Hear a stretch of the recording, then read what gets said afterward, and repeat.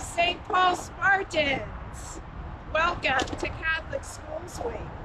This year, we're learning how Catholic schools are united in faith and community. But how much do we really know about our church and our school community? Let's take a walk through history and find out. Our journey begins in 1845 in a small village called New Berlin. The villagers were primarily farmers. Catholic families had to travel by horse drawn wagons six miles south to attend Mass in Canton, Ohio. A committee was formed to have a church built to serve 30 families. The cornerstone for the first church was laid approximately around here in 1845, which is now C Building and the cemetery. This is the picture of the first church. The work to build the church progressed slowly due to a lack of funds. Joyfully, St. Paul's Church was completed in 1847. The parish was at that time part of the Cleveland Diocese. Bishop Amadeus Rappe dedicated the church and was the first to celebrate Mass with 35 pioneer families. At the time, there was a shortage of priests in the area.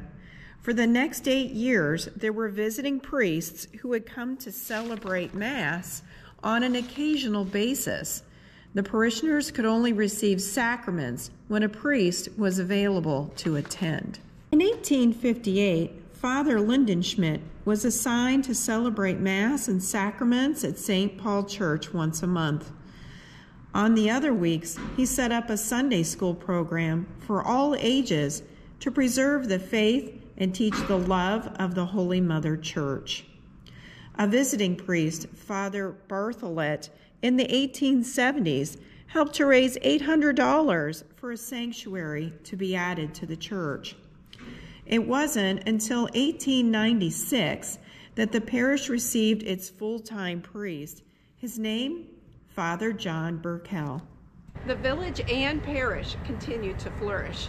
It was in 1909 that Father Gertz acquired the property right here to start our first church. The church is designed in a Romanesque style, built of brick with stone trimming. High above the entrance, in a niche, is a statue of St. Paul the Apostle. The gable is mounted with a stone Latin cross. In April of 1910, the foundation was laid for our new church. In July of 1910, there was a great celebration of the installation of the cornerstone. There was even a parade down Main Street. The church became fully equipped with stained glass windows, a sanctuary of white marble stone, and beautiful furnishings constructed from volunteer workers and donations of $30,000. It was one of the first and finest constructions of its kind in Ohio. People from all over the state came by coach and special cars to celebrate. The pictures were taken by the local newspaper, The Repository. This house, built on the south side of the church, was built in 1911.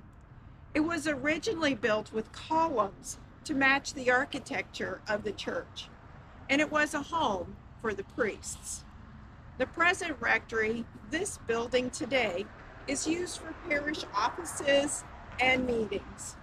Where the receptionist sits to greet the guests used to be the front porch.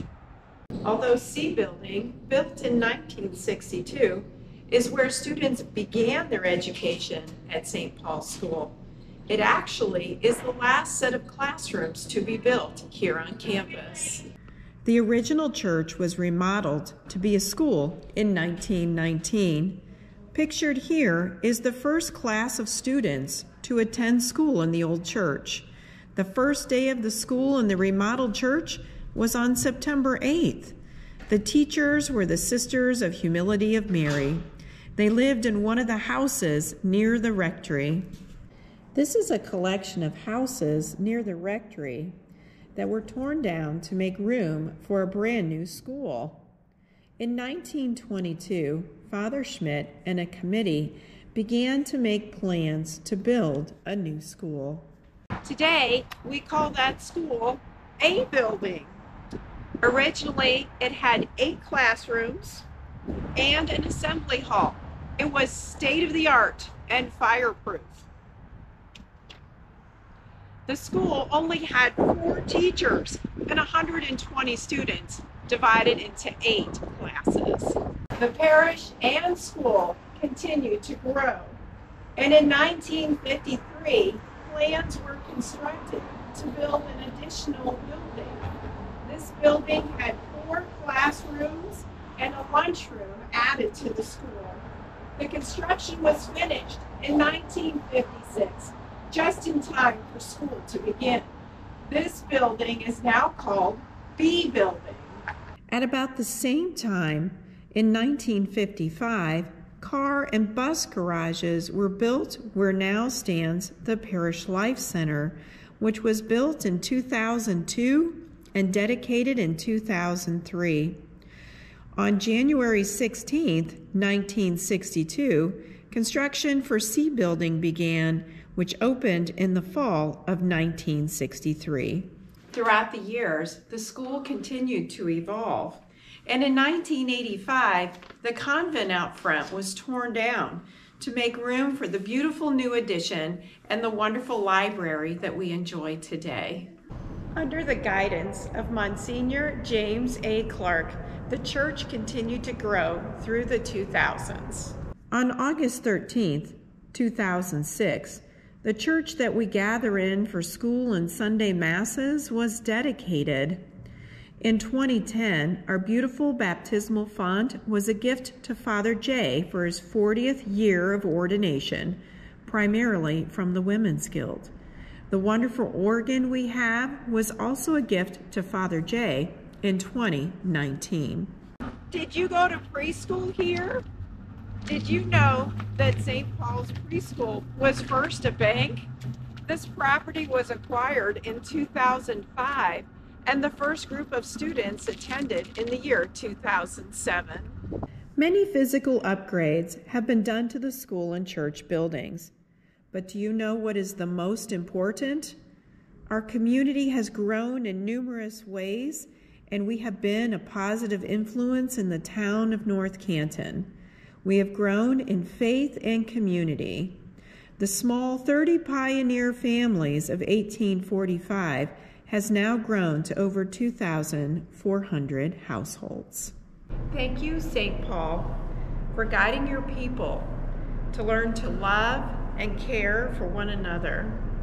Thank you, Lord, for giving us the gifts of volunteers and donors throughout history that have made it possible for us to learn in a beautiful space and to celebrate St. Paul's Church.